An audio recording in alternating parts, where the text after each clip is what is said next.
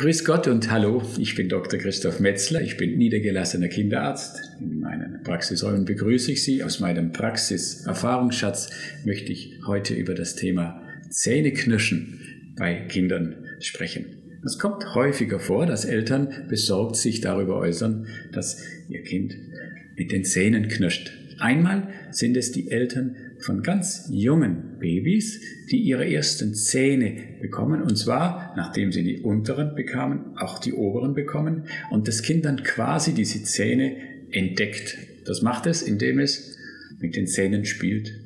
Das ist das erste Mal, dass Zähneknirschen auftreten kann und etwas ganz Normales ist, kein Grund zur Beunruhigung. Das gibt sich in der Regel auch wieder.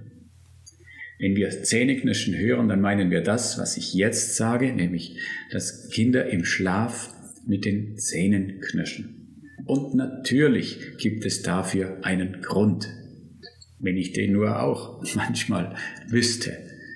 Grundsätzlich ist das ein Zeichen für Aktivität. Natürlich klar von der Mundmuskulatur, die allerdings gesteuert wird. Und häufig hat dieses Zähneknirschen mit Spannung zu tun. Das, glaube ich, haben Sie auch sofort im Kopf gehabt. Diese Spannung kann positiv sein, negativ oder neutral. Sie lädt sich ab, entlädt sich ähm, durch das Zähneknirschen zum Beispiel im Schlaf oder auch beim Spiel in Ruhe. Dieses Zähneknirschen ist ein Symptom, nicht mehr und nicht weniger. Und an sich völlig unproblematisch. Ähnlich wie das Nägelkauen ein Symptom für etwas sein kann, was auch in meinen Augen nichts Dramatisches darstellt.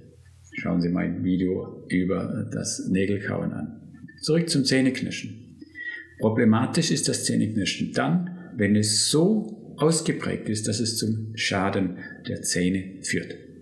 Deshalb ist ein Kind, was sehr stark mit den Zähnen knirscht, ein Kind, welches dem Zahnarzt vorgestellt werden muss. Der Zahnarzt schaut, ob es an den Zähnen zu entsprechenden Abrieben kommt. Wenn ja, dann ist eine Möglichkeit, dem zu begegnen, äh, das Anfertigen einer sogenannten Aufbissschiene, die dem Kind dann angepasst und verabreicht wird am Abend, wenn es ins Bett geht. So wird verhindert, dass das Zähneknirschen Schaden an den Zähnen anrichtet.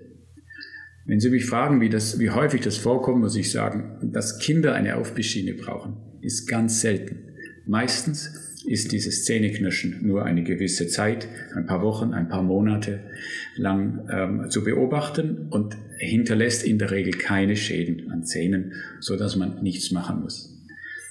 Die Zeiten, wo Zähneknirschen auftreten, das ist zum Beispiel, wenn ein Kind in den Kindergarten kommt oder wenn ein Geschwisterchen auf die Welt kommt oder wenn es in die Schule geht oder wenn es schlechte Noten gibt. Alles Dinge, die nun mal im täglichen Leben passieren können äh, und die zu Spannungen führen. Ja, aber die gleichzeitig auch außerhalb von irgendeiner Therapiemöglichkeit seitens von Ihnen oder auch seitens von mir liegen. Das heißt, Ähnlich wie beim Nägelkauen ist auch das Zähneknirschen etwas, was wir, was wir beobachten können, mit dem wir einfach, wie ich meine, eher locker umgehen sollten.